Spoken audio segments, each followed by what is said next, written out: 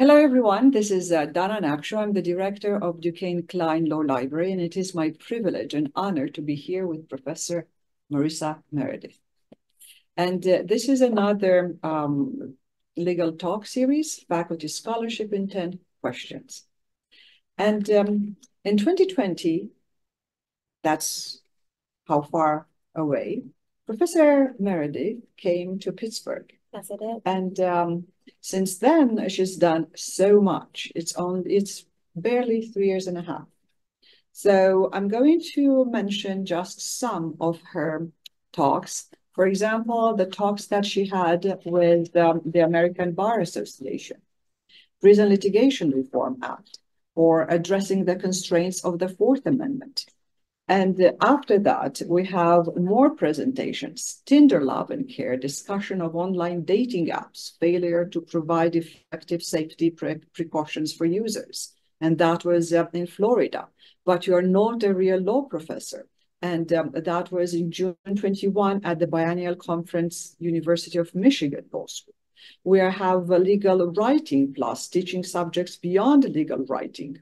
And this is another biennial at the New York Law School. And on this point, I would like to add that um, Professor Meredith is outspoken when it comes to citing manuals. And she is, I think, right when she says that the Blue Book is mostly for academic writing and not for practitioners. Yeah.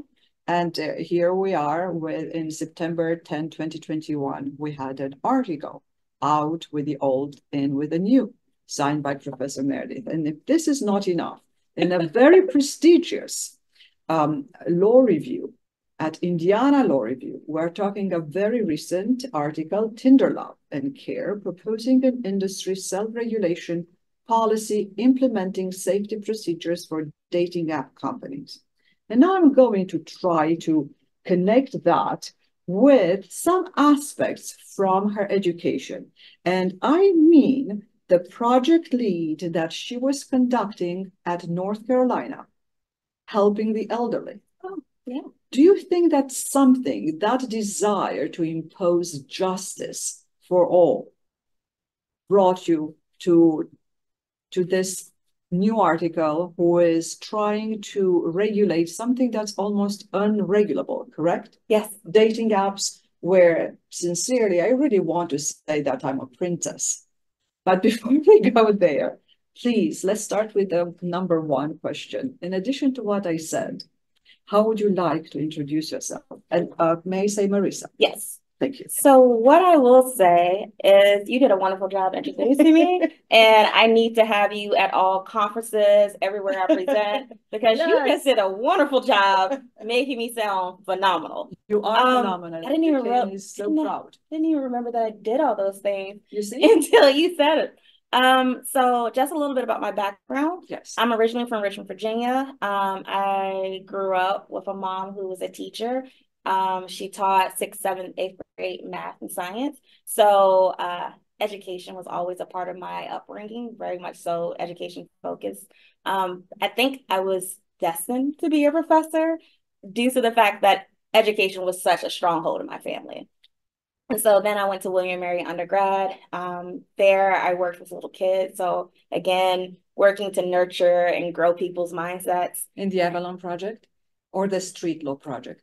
So that one was just working at a little daycare, nurturing little kids and ensuring that they, you know, mosey along and did everything they were supposed to do. But when I went to Central, which is in Durham, North Carolina, North Carolina Central School of Law, as we call it, the North Carolina Central School of Law, where our legal eagles soar. Uh, I then got really engaged in like community activities. So I as part of before I went to law school, I was a paralegal. I worked at a law firm that um, is in Williamsburg, Virginia, Johnson, Gacy, and Baxter, and they specialize in business um, planning as well as estate planning. And I got a little taste of like elder law, estate planning, working with them. And I thought, like, oh, this is not really for me. And then I went to law school and I'm like, no, actually, everything that I did as a paralegal, I actually really loved. So shout out to them because they don't actually know that they inspired me to pursue a legal field that I was like, ah, I don't want to do it. But now I'm all about it. And so when I got into law school and learned about estate planning, it just intrigued me. And especially since um, in America, at elderly population, teens tends to be like, I don't want to say forgotten, but forgotten, right? Yes, they still need protection and Absolutely. all those things.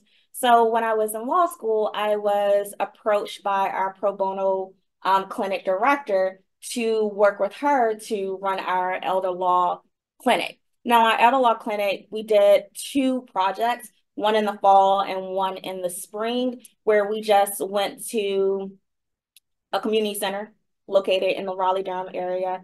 And um, we had people call in to sign up so, because it was in conjunction with Legal Aid in North Carolina. So, people would come up, sign in, and then we had local attorneys come in and do healthcare power attorneys, uh, wills, and all these great things for the local community. And on top of that, every third Friday, I believe, we used to go to the um, senior center in Durham and do wills and healthcare power attorneys. Now, these are basics.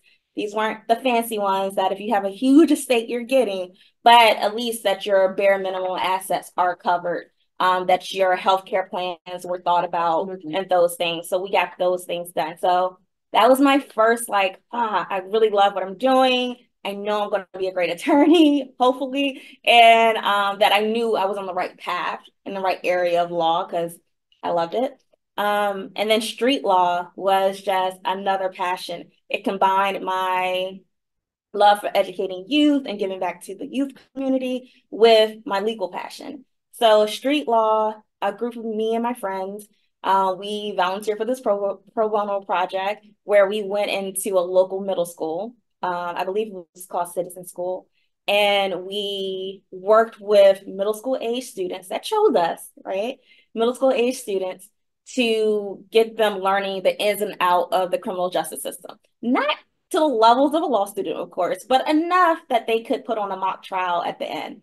So we worked with them, I believe, like 13 weeks to get them through, like, hey, these are the, this is how you do a trial. These are the people who were part of the trial. Um, I think a group of students actually created the the hypo that we utilize. And then we had a mock trial at the law school. So they got to come to the law school and do their trial in our courtroom. So it was really, really cool for the students. And our professors also joined in and they played the judge. That's amazing. Yeah, so it was a lot of fun. I think thinking about like that experience as well as being a tutor, I was a Civ Pro tutor, all kind of led me to where I'm in today. Like I love I love the law, still have a passion for it, still like to practice from time to time, but I also like educating people and helping them, you know, get down the road to whatever goal they want. This is wonderful because what I see here is that not um, someone who cannot do teachers, but someone who excels are doing teachers. So thank you. Thank you. Thank you. So we are moving along. As you see, this is a very animated um, uh, legal talk series, and we are so, so happy to be here with um, Marissa. The second question, what inspires you to write? So what inspires me to write usually is something that has happened, right? So for my paper that got published with the Indiana Law Journal, the Tender Loving Care article, um, it was just a lot of my friends were on dating apps. Um, and then there were some random news articles. I believe at the time, some things were happening in like New York, where people were using the dating apps to set people up for robberies and things of that nature. And I wanted to see, you know, have they ever been sued? Really? Was there ever a time where a dating app had been successfully sued? And if so, did that lead to any safety measures?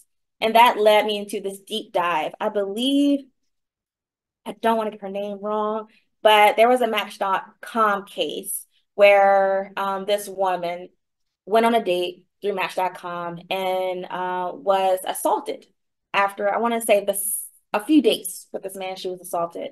And it came out that Match.com knew this man was assaulting people, assaulting women. They had gotten letters previously oh from other people who he had done this to and he was still using the app. Wow. So I believe uh it's actually our VP, Kamala Harris. Uh, she was the Attorney General at that time for Attorney General California there at Match.com had agreed to now do background checks. So it was this huge thing um, for kind of like regulating the dating app companies, right? And then fast forward to now, if you go on several of these dating sites, they explicitly say they do not do background checks right? Wow. And their terms and conditions, they say we do not do background checks. So it's and, a disclaimer, the opposite. Yeah. So they made a disclaimer instead of saying, hey, we're gonna do a background check on everybody. They gave a disclaimer, like, yeah, we don't do it.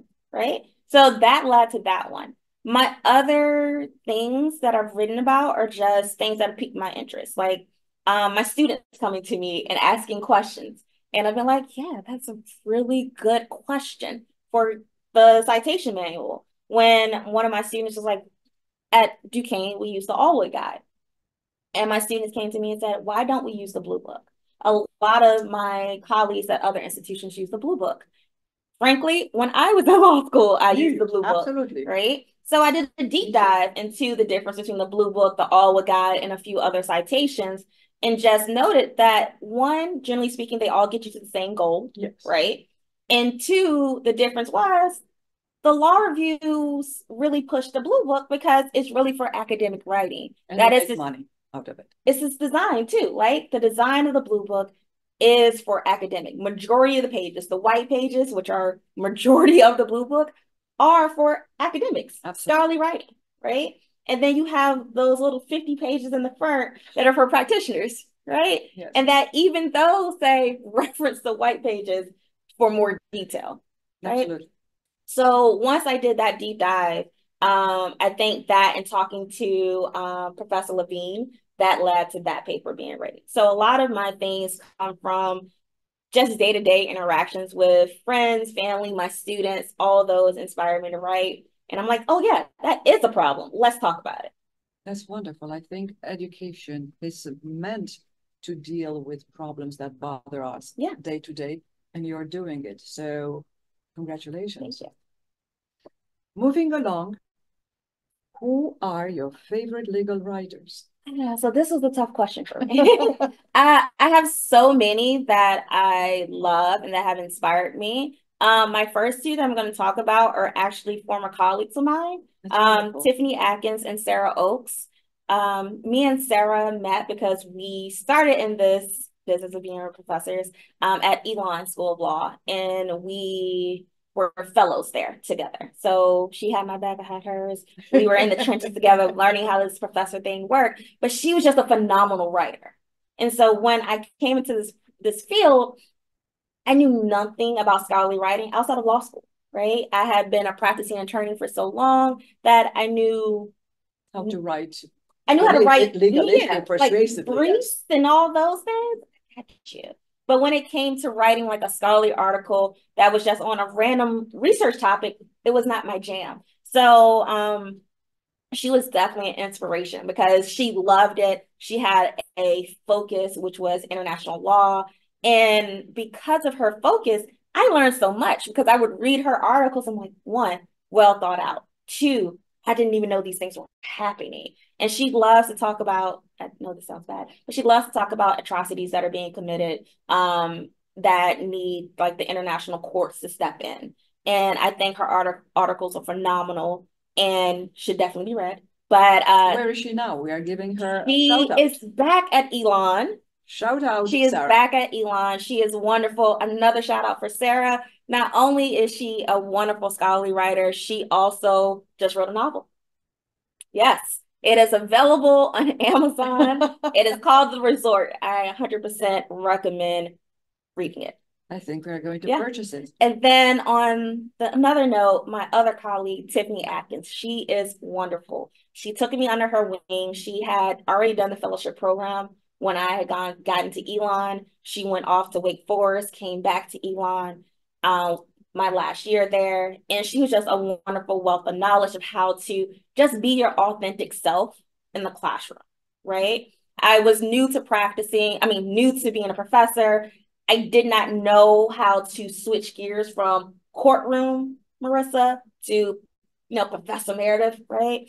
And so she allowed me to realize that it's okay to be your authentic self. You can wear the sneakers, you can wear whatever you want.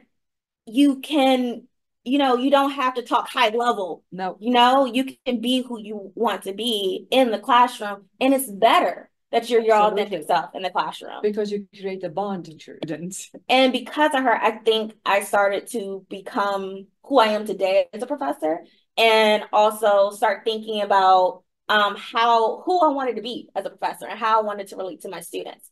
If I Um, may yeah. every time I go and visit Marissa, she has at least two, three students. yeah, So I know that you're very much loved. I've always students. wanted my office to be a place where students come, just hang out. I know I have work to do, so I'm usually working, but just a place where, you know, if they needed a moment, they could just come and sit down. They don't have to stay there, they don't have to talk to me, they can do their own work, but if they just need a moment, they had a place. So That's phenomenal. This is I what I it. try to create in this library. We think alike. Yeah.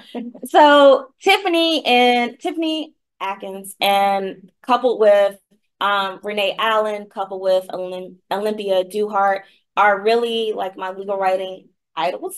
Um, Tiffany Jeffers as well. They really talk about uh how the law impla- impacts, you know, African Americans, um, and also building inclusivity into your classroom intentionally not making it happen by accident, but intentionally having classrooms that are inclusive and thinking about the next generation, right? Um, Tiffany has this wonderful article called For the Culture.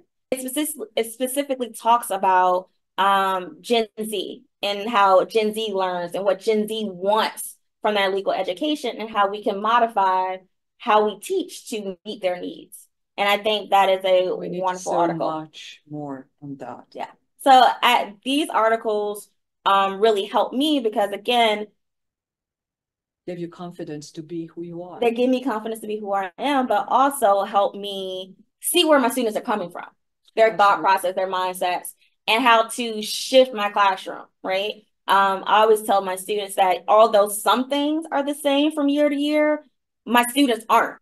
So how do I teach them? How do I bring them up to speed to being great attorneys where they are? Please listen to what Marissa has to say because I think our legal legal education needs so much to be more focused from year to year on what the students want, what the society needs at large, because society changes with our each generation. So I think those are just a few, but generally speaking, I have a lot of legal writing heroes that really talk about intentionally bringing inclusivity into the classroom, um, how to teach my area of, that I teach, which is legal writing, um, effectively for the new generation of students, and um, just being like your authentic self in the classroom. So think those I, I'm are sorry, I didn't there. applaud anybody before here. So if um, some of the previous, you, you know, professors who were in Marissa's chair are watching it, I'm very sorry about what I hear here is revolutionary for the legal profession. So thank you, Marissa. no problem. So on this high note, note, we are going to try to keep it given even higher. The fourth question, what piece of your scholarship would you like to talk about today? All right, so I forgot I've done so many things until you mentioned it in question one. Uh, so I believe the piece of scholarship that I would talk about today will be tender love and care. Perfect. Yes. Um, tender love and care really talks about how we got here. How did we get to online dating? So it begins with a brief history about, um, you know, this is not something that happened overnight. There Absolutely. were steps that led to online dating, and it's not really a new phenomenon. Exactly. Phenomenon, right? Exactly. Um, it really began with like the first step of this when we came to the States. Um, courtship was looked at differently, right? Your family was aware, your community was aware of who was courting you because they had to say in it. Because marriage was not like for love. What was that? right? Marriage was a business arrangement, right? So the family and the community had a hand in that. And then we slowly moved away from that because America grew up. It wasn't rural, it wasn't these little townships. It became a booming industry. And so you had people moving to the big city from their little towns. And then how do you court, right? Absolutely. Well, introduction of the newspaper, right? The personal ads and Absolutely. all those things. So we had people placing personal ads and doing all the things that we now talk about, like catfishing, just via snail mail, right? Absolutely. Good old snail mail. So um, it briefly talks about that and how we got here today. And the thing that we lost along the way was awareness, right? So when your community was involved, when your family was involved in your partnership, they knew who they were putting you with. Um, they knew their family. They knew where you were. They knew all these things. So the but, background checking was done by the yeah by the, by the community. They were vetted. They were already, vetted, absolutely. Right? And then you slowly moved to personal ads where these people aren't vetted. You're just talking to them, right? Trying to get to know them, trying to build that relationship. Absolutely. And but you're doing it with someone that you have never seen before. Huge risk. Yeah. And you're losing that awareness. And then we got to the modern age and we introduced computers to the mix.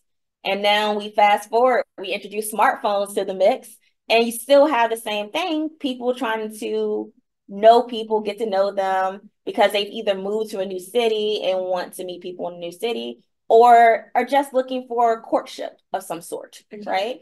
And but again, no one is aware of who you're talking to.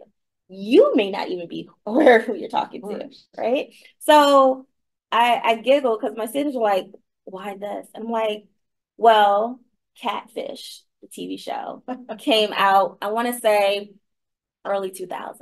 And yet, till this day, where we have smartphones, we have FaceTime, we have Skype, we have Zoom, we have all the things where people can see who they're communing with across the universe. Still, still people are being catfish till this day. Absolutely. Right? So scamming, all scamming. Exactly. And then that fast forwarded to again my deep dive into well, all right, just because people are getting catfish, yeah, that is a horrible situation you making a connection and then finding out that it's a whole lot. But what has happened from that? Is it just like heartbreak because you met someone who isn't who they said they were? Yeah. Or were there actual harm happening? And so I did a deep dive, and I believe other pro, um, professors at other institutions have also talked about this, um, like in World Wide Web of Lies, one of my favorite ones that I read.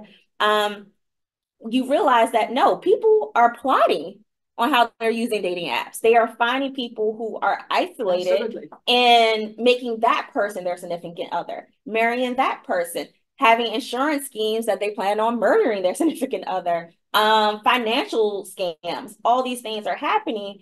And I, I went through again saying, okay, so I see the court cases where the person who has done the thing is being held accountable. They're going to jail. Um, civil suits are being had all these things, but the trend is it's still going on. So why? So then my thought process was, okay, we're holding the person who actually did the violence or whatever accountable. I love that. But are we holding the dating platforms accountable?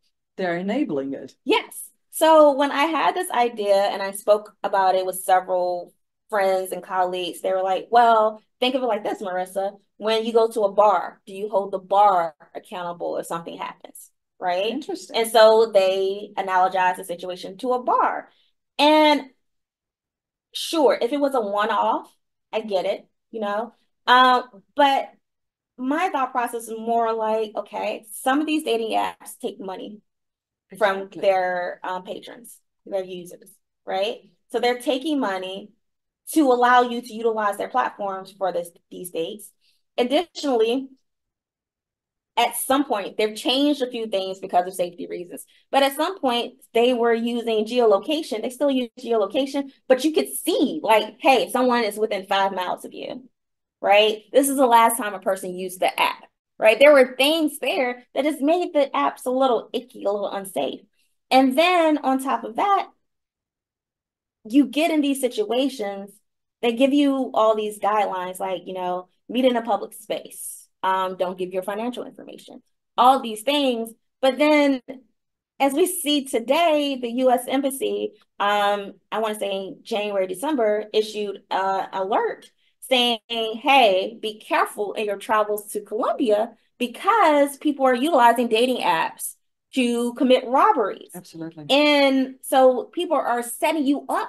They already planned for you to go to this bar and meet them. They already have set up um, the drink that they're going to use to drug you so they can rob you and all these things. So even those things that you think are keeping you safe aren't actually keeping you safe. So that was why this meant a lot to me. And so when I did my deep dive, what I realized is Section 230, which was a big deal because if y'all recall, um, I want to say 2020, 2021, um, President Trump was fed up with Twitter and their censorship of him. And they utilized, they were like, up, oh, Section 230 allows us to do it, right? We can censor you, we can ban you, we can do all the things because Section 230 allows it. And so Congress was taking up should we tweak it? Should we fix it? What should we do about um, this clause? And to those that don't know, Section 230 of the Communication Decency Act essentially says that um, it protects these websites. Um, the conduits of the information. Yeah, conduits of information so that they can um, edit, take down things that are obscene, right? That is the real term. Yeah, obscene things. No one knows what it means. No, it's You're, very it's very broad. when you see it. Yeah. How it's applied is very, very broadly. So in that situation, I started looking at it and I'm like, well, they're not trying to hold the websites accountable for what was said. They're saying, hey, you knew this person was a predator and you didn't take them down. That's negligence. Absolutely. Right? So the people aren't saying, hey, you're responsible for the words that lured me to nope. this site. They're saying, hey, you were negligent and your negligence caused me harm. But even in those cases, if you look at them, Section 230 still protects them. And the big one that I saw was like a Grindr case where an ex-boyfriend was just, he took petty to a whole nother level. He utilized the app and weaponized it against his ex. And he sent people to his ex home and had people really just um harassing this man. And I believe the individual let Grindr know and nothing happened. Section 230. Right. So because I saw in my research that the legal means, like you would think Section 230 wouldn't have been an affirmative defense, but it was. Um, the legal remedies were not really available to these people. I realized that really this is a PR. We have to take it uh, as a PR spin, right? And just as I was wondering, like, how do I fix the problem? Lo and behold, um, Uber and Lyft decided, hey, let's do a partnership because they were having similar issues with their drivers, right? Absolutely. So it just kind of fell in my lap. I was like, what is the solution to this? And Uber and Lyft announced they're going to do a safety policy across platforms where they notify each other when you know if a driver was dismissed from their their app then they would notify like the rationale to Lyft and Lyft can also do the same. Because usually if you're Absolutely. a driver for Lyft you probably are a driver for Uber. And vice versa. So um they created their safety plan. That's at least yeah at least that's what they told the public and I was like this is phenomenal because in my research, I saw, well, if someone got caught up on Tinder, well, they just hopped to Bumble, exactly. right? And they were just hopping from one platform to the next, still doing the same thing. Or in Pittsburgh, Hinge. Hinge. still doing the same thing. And so I'm like, oh, this is very similar. Like people are just using platforms to do it. So if we talked across platforms, maybe we could get people, predators specifically, off these platforms sooner without it being, well, we don't know if it's true because it's a he said, she said. Like, no, we have a lot of evidence now. So that was my proposal, was that they create an internal um, safety procedure, safety policy, maybe safety center um, across apps That's so that they're able to better communicate, um, have more resources when it comes to these safety things, and also be able to say, hey, this person is doing the same thing on my platform. Absolutely, because it's an industry. Dating yeah. is an industry. And if the government cannot, you know, preclude this type of um, harming situations yeah. with a soft rule among themselves, they can protect. Yeah. And users. I thought it would be good because one, I don't believe dating apps want to be regulated by the government. Exactly. Um, and two, um, when I was doing my research, I stumbled across the International Marriage Brokerage Act, um, which is an act created by the United States government when I don't know the political correct way to say this, but mail order brides were like a huge thing, right? And people were Americans were getting their brides from overseas. And minors usually. And two women, I believe, were killed, right? So the government created the International Marriage Brokerage Act, which essentially made it you had to disclose like the background. Absolutely. So that you knew like this person has a history of domestic violence. You you knew these things, right? So a disclosure of this information um, to protect individuals coming over. And now I believe it was part of the like the inner the immigration process. That's how they got that in. Um, but things like that made me think like, well, the government can regulate it. How they regulate it, I don't know. But because they, you know, regulated international marriage brokerage, this is something they could probably regulate as well. But I don't think um, it will the, be done too soon. It will be done too soon, and I don't think the companies want it done anytime soon uh, because it's probably gonna it'll hit their profits. Exactly. So if we can make it attractive to them to do it internally, why not? Yep. Again, a wonderful, innovative way of thinking and Thank finding you. a solution. Thank you, because that's the way. That solution was hard. Thank you, Uber hard. and Lyft. Appreciate you. Absolutely. And uh, this type of dialectical thinking, I'm always impressed with, and interdisciplinary, and finding solutions in one area to the other. I want to give a shout out to one of my students, Jordan, who just uh, came up with a solution for climate change litigation from sports litigation. Oh. So it's amazing. Yeah. So because of professors like you, our students here at Duquesne, I believe will be able to find innovative solutions. Yeah, you gotta have some problems. out of the box thinking. Yes. Um, when it comes to creating solutions, because sometimes the law just isn't there yet. It hasn't caught up. Absolutely. So can't it hasn't caught up to modern technology. Exactly. So. And the problems appear usually before the solution. Yeah. So thank you so much for okay. that also. Moving along to uh, question five. What are the main ideas before the uh, piece you, you told us? Now, questions, uh, would you like to add something or? No, I think I've talked about, I've hit all the main ideas in that piece. Thank you so very much. So question six, what does it add to the existing body of literature in this field in addition to being innovative?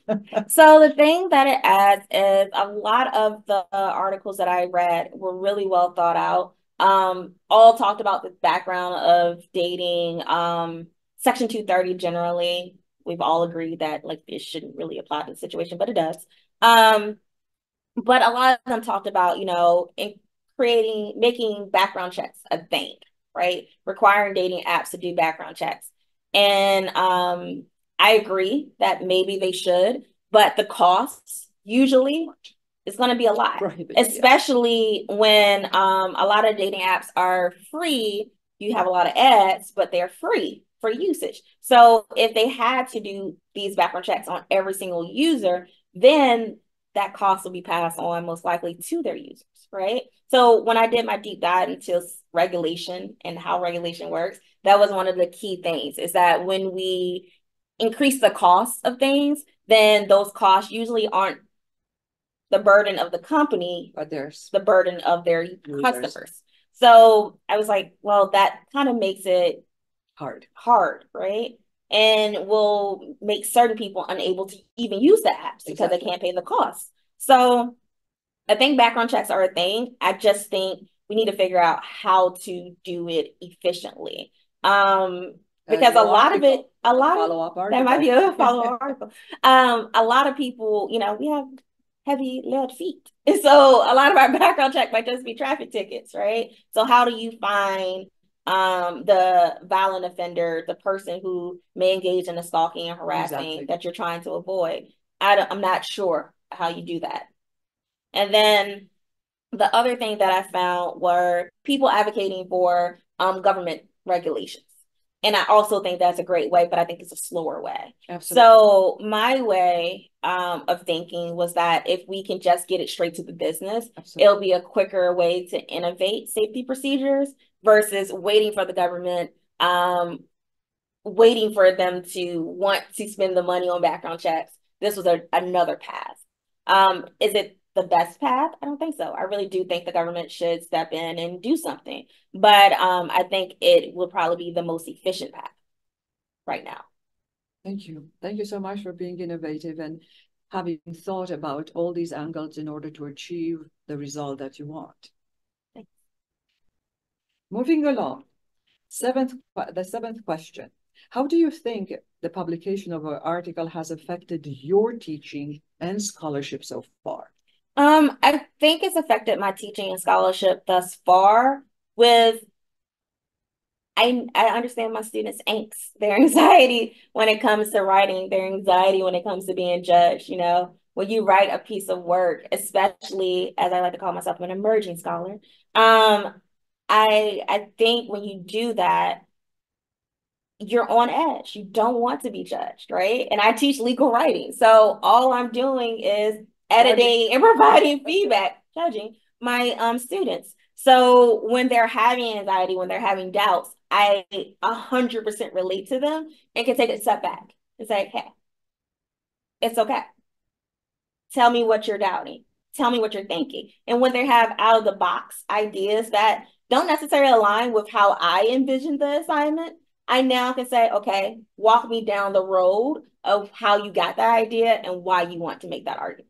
And right? you are more willing to accept it. I'm willing, yes, I'm way more willing to accept it. Like, okay, that out of the box thinking, it will serve you well one day, and I'm not going to stifle it right now. I'm not. That's not my goal as professor. I'm going to nurture it. So let's figure out how we can incorporate your thought process into the assignment and still make it great. So I think that has helped me a whole lot. And again, as I said earlier, um, my scholarship, what I write about is really inspired my, by my students and their questions, right? And because it's inspired by them, I think by doing the research, by getting involved and doing the writing, it's helping me just become a better teacher because I'm I'm trying to gear everything towards yes, this is what you need to know for the practice of law, and I'm not going to take those things away because I want you to be an effective um, lawyer. But hey, what do you do when the law isn't 100% on your side? Um, how do you think out of the box to change things, make social changes, right? Wow, I think we heard our audience sighing, and I'm sighing with them because it's so deep and so well thought. And um, yes, this is what we want. How do we create ethical lawyers who can think out of the box? So thank you for helping us do that. Try. I think this is going to be one of the most downloaded uh, recordings. All right. So, um, uh, and we are keeping it going further, further up in terms of interest for our audience. Thank you, Marissa. Mm -hmm. The eighth question is, what are you working on right now, if you don't mind sharing with us?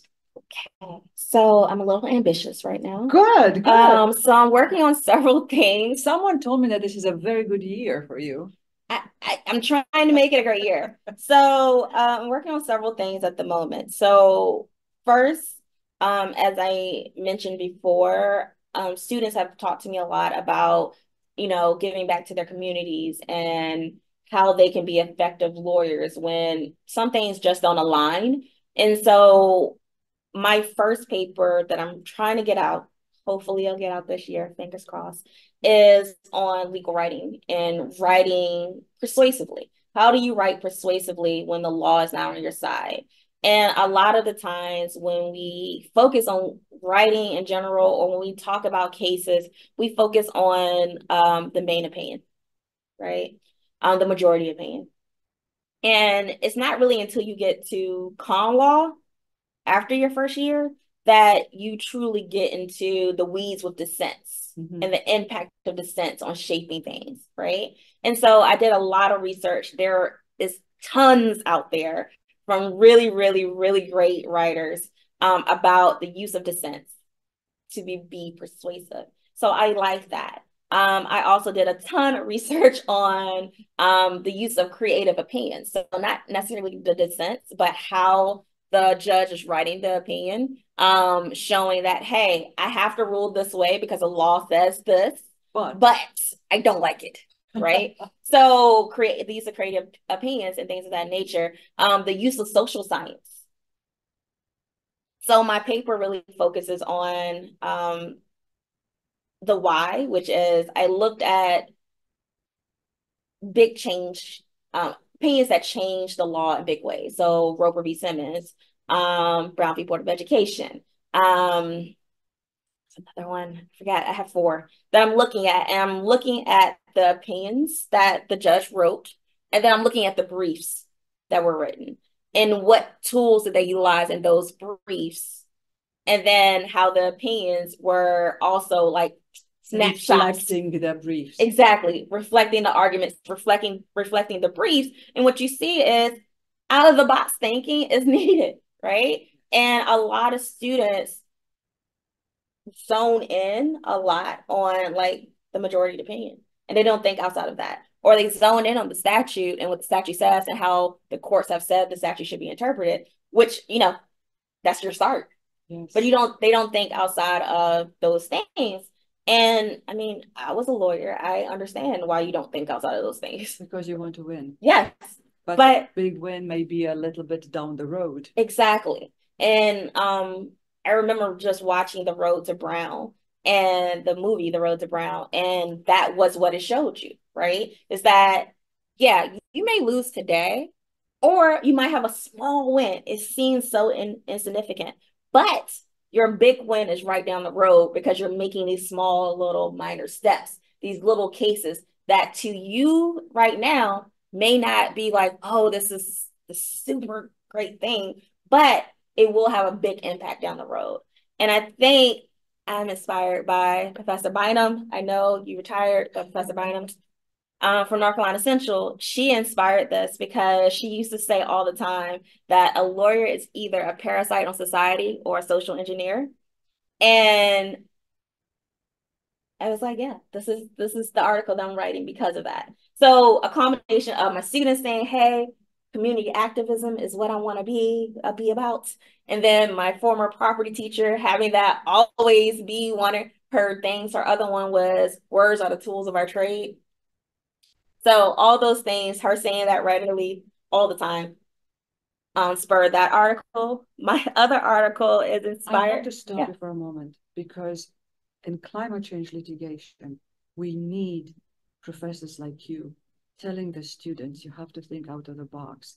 We are losing at every single step because no one, no practitioner in climate change litigation is willing to think like you.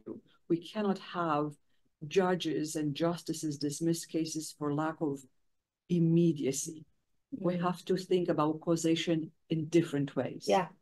We have to think out of the box. Yeah. So thank you so much for you know planting the seeds yeah. in the mind of the students at, at every in every single area of law. We have reached a position where we are just thinking in terms of 1789, 1776. I'm sorry, I, I, I use the French Revolution, but it's it's not what we can do anymore in the 21st century. I cannot applaud you. Sorry for this. I yeah, couldn't stop it's amazing being here and having this discussion with you. And then my next papers, one is inspired by a student. Um, my student asked me to do a director research, and I was like, sure, you know, I'll do a director research. But the topic was super interesting. And I kind of just like fell in love with the topic. I didn't think I was going to fall in love with the topic, but it was super interesting. And it was about the use of rap lyrics as evidence because of the current trial occurring in Atlanta, Georgia. So I'm currently working with, with a student um, to really do a deep dive into. Please tell us about it. So I'm a bit afraid you are not Tipper Gore, correct? You're not going to criminalize. No, no, no. Uh, rappers. Okay, you're so, scared for a moment. No, no, no. so it's more so is how are we using them, right? Okay. So um rap lyrics are artistic expression. Yes. Right.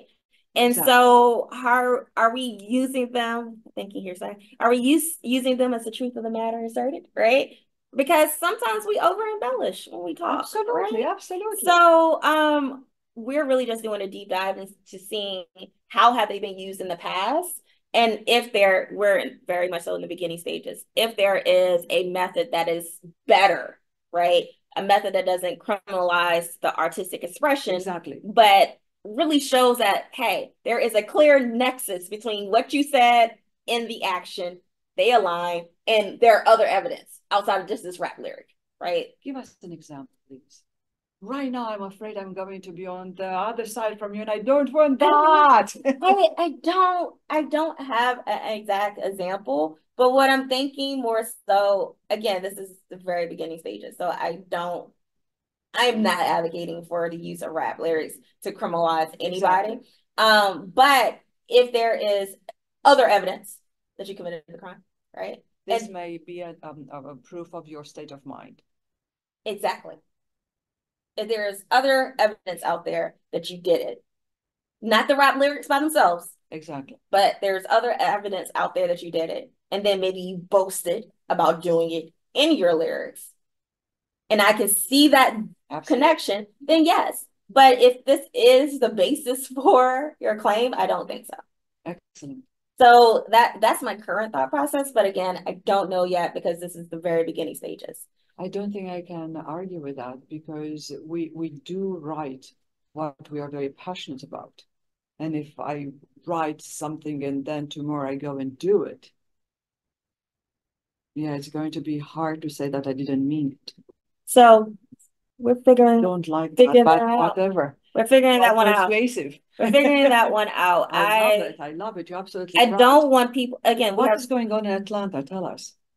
So currently, the rapper Young Thug, I don't know his actual, I can't think of his actual name right now. His, Who cares? His yes. government name um is on on trial for I believe it's RICO charges. Um, yeah. So they're extracting parts of his lyrics and talking about them during the trial. Um, yeah. So so it's very, very actual what you're saying. Mm-hmm. Absolutely. Mm -hmm. And it has to be I, I just applaud your integrity and the type of research you're doing. So I'm sure that you are going to get to the bottom of it.